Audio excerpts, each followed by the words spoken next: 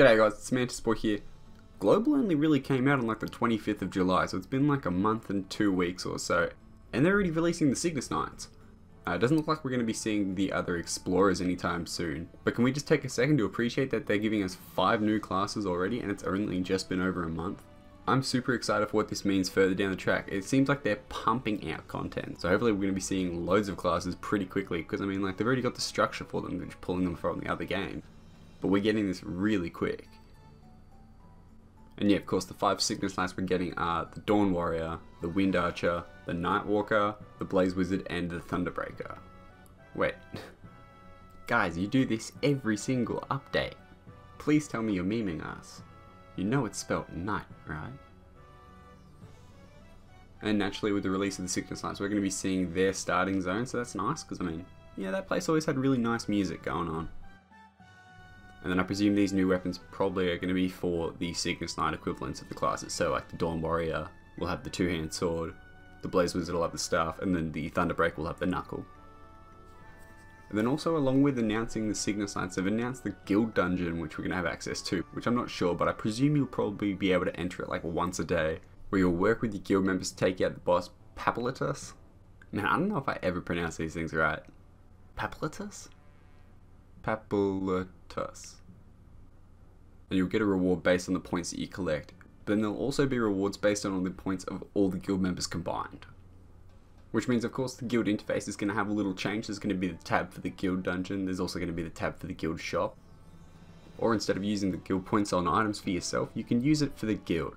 And you can make donations to the guild, which in turn will increase the guild's experience, and you can make a maximum of three donations every day. I'm pretty excited for the Cygnus Knight update. My main on the global Maple story was a Nightwalker, and I think that I think I think I had that to like level 200 or something. And I just remember it being really fun. I'm not sure if I'm going to change my main. I'm probably going to stick with the Bowmaster. I'll I'll definitely be playing the Cygnus Knights and leveling them up at least a little bit, probably to like level 100 of each. I've prepared a whole bunch of gear for them. I know this is just a preview about the update.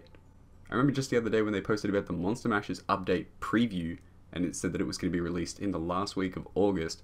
And then two days later, they updated it and gave us Monster Mashers, and I mean, that was still like three quarters of a week until the last week of August.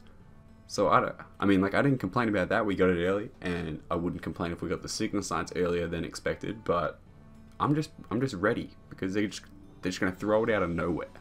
They love doing that. But just so I can try all the Cygnus Knights in a balanced and even way, I've got them all the eclectic set, and I mean, like I got them all the serious cape and like a random belt but I got them all the exact same kind of gear and I Star Force everything up to 5. So everything should be pretty much even and I can see how they compare because I reckon some of these Cygnus Knights are going to be fucking strong. In before Blaze Wizard bot in every map. And also to prepare for the Cygnus Knights, I've pretty much spent all of my money on level 15 epics. Man, I hope I get an emblem.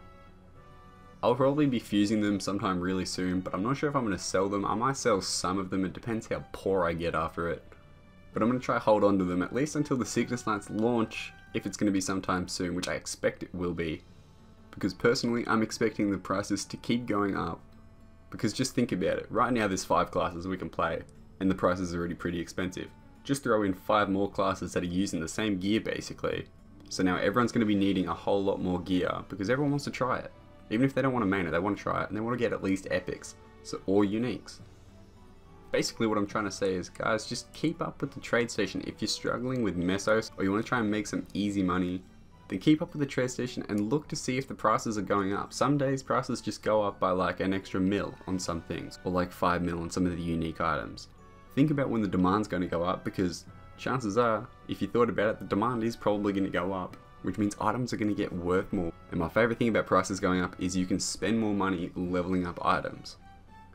I did a video, I think just yesterday, where I spent like 50 mil on the normal treasure box, and I ended up overall like profiting, I think like 2 mil, which really isn't that great, but right now the epics weren't super expensive, I mean they were pretty good, but the level 15 outfits that I made, they weren't exactly expensive, I was kind of pricing them around 15 mil, but once demand goes up, they can go 20, 25 mil pretty easily.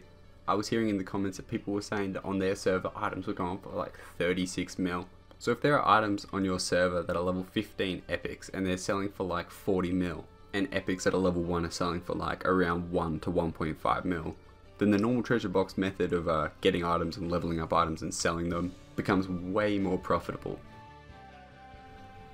Man, I hope when they release Cygnus Knights they give us more character slots. Because I know you guys didn't like it, but I'm still farming for pet food on my alts. Or delete Night Lord. But there's five classes. Surely they're going to give us slots. Alright guys, cheers for watching. Hopefully you enjoyed. Hopefully you're as excited as I am for the Cygnus Knight update. I reckon it's going to be mad fun. Leave a like if you did, and I mean, or if you are excited, and I'll subscribe to see more. Catch you, boy.